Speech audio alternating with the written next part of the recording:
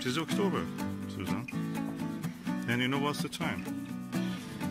This is the first year we had a crop of the Mitchell's prolific uh, queens. We already have okay October and the time to harvest the Concorde. This year we had a really bad drought and the pears have really suffered. There's ginger and drought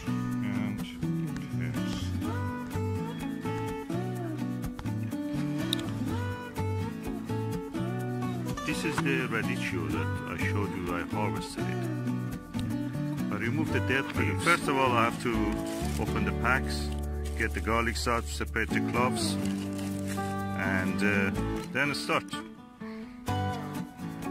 Okay now the harvest for the apple red Falstaff, Queen's Mitchell's prolific, here's Concorde and uh,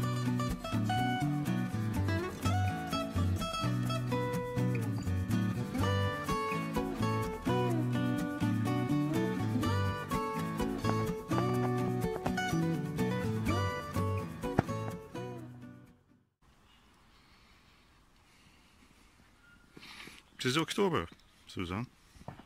And you know what's the time? For the apple. Oh. This is the apple variety red Falstaff. Oh, right. They look beautiful. They certainly Look at them. They're the perfect shape for an apple, perfect color. And I'm telling you, perfect taste. I've tasted it already once.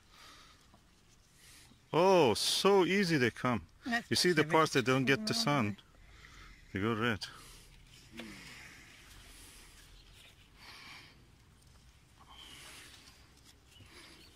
And they're beautiful. The birds have been nibbling at little bits. Yeah. That's a perfect apple that you can never find in the supermarket like that. It tastes better than. Yes, They- here. They have minor imperfections. The supermarket, uh, they, they keep them in fridge, you know. They That's the problem. months, isn't it? And they'll keep, they call them for six months before they even ripen them. hmm So that's why they may not taste anything. Oh, yeah, I can see here. Here. The small ones, I don't think we need to take the small ones Okay. yet. They are all right. This one, please. This one also you have to take it because Mm. this small one, I mean the ones that are not ripe. It has a little blemish, but I would like to salvage it or feed it to chickens. Come here. Let's go the other side or Yeah, I think we should go the other yeah. And Susan, you see they're so ripe, they just come to your hand. Yeah, that's great, isn't it? That's tasty. Here, look at this one. And this lovely pear here.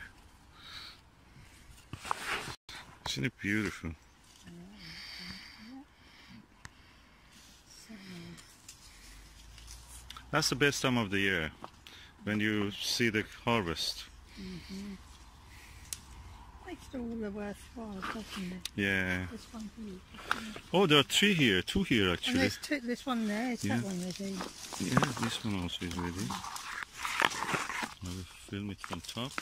There we. The one from lower part, I will harvest it now. It had a lot of damage, but at the same time it gave a good amount of apple for the size that it is. Yeah. I think this one is ready also. We don't want to keep it too much. No. Okay, there's a few left here. Oh, there's two more here. You can see. Yeah, There we go, there. there's another one here. Shall we harvest? This one? Hold it, darling. Look at Just trying to fit them all in. that. So There beautiful. they are, that's our little sapling, considering that's just a tiny sapling of a tree. Yeah. Hmm. How big is this tree? Okay, this tree is not bigger than you, or taller than you. It's about, Typical Celt. it's about, what, a one litre, just above. Yeah, 1.60, 70. 1.15. No, 60. Easy. That top of it goes 1.70. Yeah. But anyway, it's a small tree, as we know. It's a rootstock which is uh, M27. There's a few left there. I keep them just to see what will happen. Probably they will grow. Who knows? growths, providing the weather stays like Yeah, this. yeah. Even if weather goes uh, a little bit cold, I don't think the apples immediately get damaged. No. But that's a nice thing to see. Thank you very much, so, darling. Okay, now the harvest for the apple red Falstaff, Queen's Meech's prolific, pears Concorde and uh, du Comice, uh, some eggs, again Concorde, again Concorde. And we are going to enjoy this. Let me put one of these for the fun on our hedgehog. He's carrying it home. Oh, I am the William Tell. The son of the William Tell. Huh?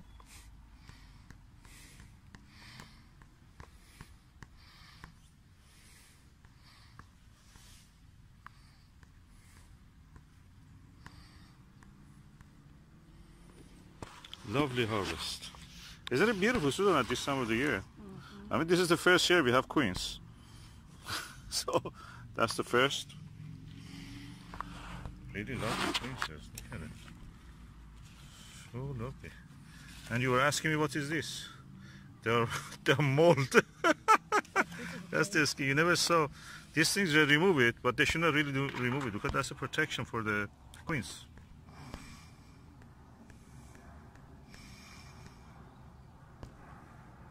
That shows the queens is fresh. We kept a few on the tree for Christmas probably. Let's just see how they will last.